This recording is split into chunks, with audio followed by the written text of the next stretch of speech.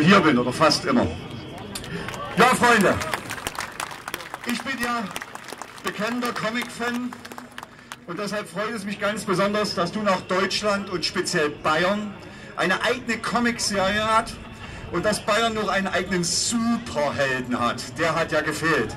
Ihr kennt sie ja alle, Batman, Captain America, Superman, Green Lantern, Ant-Man und wie sie alle so heißen. Und nun ist es soweit, wir, wir haben einen echten Superstar im Universum. Wir haben Ultimate Man. Ultimate Man zeichnet sich aus durch die besondere Fähigkeit, Ultimaten zu stellen und den Hals besonders weit aufzureißen und dann dank seines mega flexiblen Rückgrades einfach umzufallen und wieder vor der Gottkanzlerin zu kriechen. Richtig, Freunde, ich rede von unserem Ultimatum Hirsch aus Bayern. Er hat in der letzten Zeit derart viele sinnfreie und nicht ehrlich gemeinte Ultimaten an alle möglichen Leute gestellt, dass es einem wirklich schwindlig wurde. Erst an Merkel und die CDU, dann an die GroKo und jetzt auch an Italien. All seine Aktionen und Sprüche aber und seine Forderungen der letzten Monate waren nichts als das, was wir von ihm gewohnt sind, heiße Luft, denn wenn man genau hinschaut, hat er eigentlich nämlich gar nichts erreicht. Wir stehen nach der ganzen widerwärtigen Show und die Schwesterparteienkrise zwischen CDU und CSU wieder ganz am Anfang. Nichts, aber auch rein gar nichts wurde erreicht.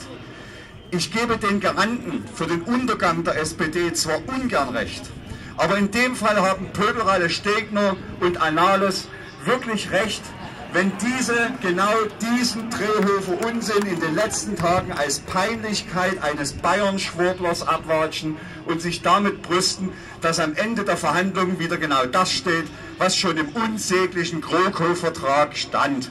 Und was da steht, wissen wir alle, es ist dort der Untergang Deutschlands und die Umfolgung besiegelt, auf allerhöchster Ebene. Nun,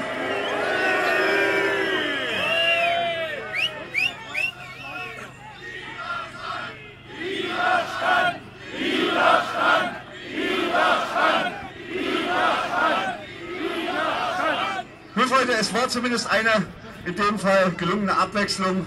Es hat das Volk geschickt von den Problemen abgelenkt und einigen Bürgern doch wieder Hoffnung auf eine Wende in der selbstmörderischen und gesetzeswidrigen Asylpolitik gegeben. Nach dem Scheitern der Mannschaft, wie ist das eigentlich, das war ja früher mal deutsche Nationalmannschaft, dann Mannschaft, ist es beim nächsten Mal dann nur noch Schaft oder nur noch, oder wir werden es sehen, es wird auf jeden Fall immer weniger. Auf jeden Fall nach dem Scheitern der Mannschaft, welches der Regierung ja nun so gar nicht passte, beendete es doch die gewünschte Brot- und Spiele fürs Volktaktik der Eliten, musste eine andere Ablenkung her, alles fein abgesprochen, um die Zeit bis zu den Landtagswahlen in Bayern und in Hessen zu überbrücken. Aber auch diese Ablenkung hat irgendwie nicht so richtig gefruchtet. Ging der Schuss doch sogar irgendwie nach hinten los. Die Menschen hatten nämlich dieses abgekartete Spiel durchschaut und dank der ohnehin völlig verloren gegangenen Glaubwürdigkeit des Bayern-Drehrumbums glaubte einfach keiner mehr an den ganzen Zirkus.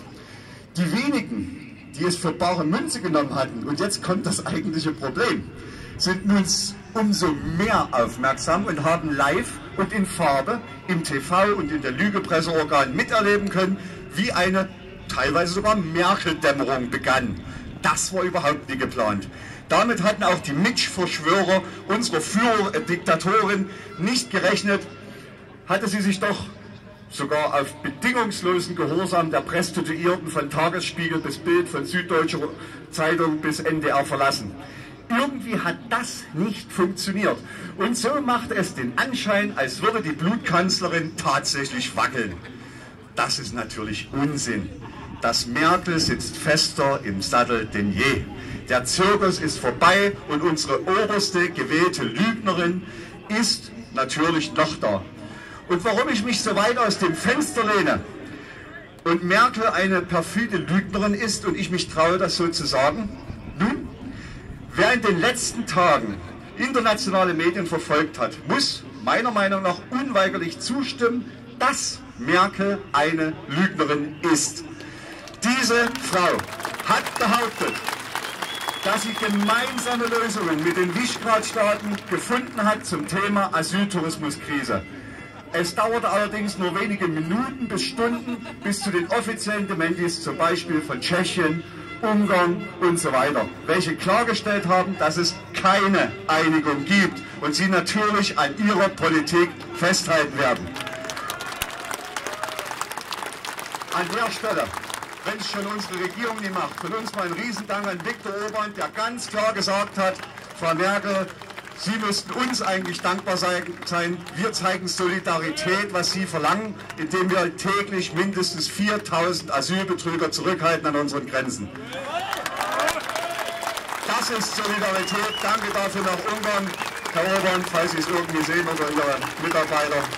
Vielen Dank.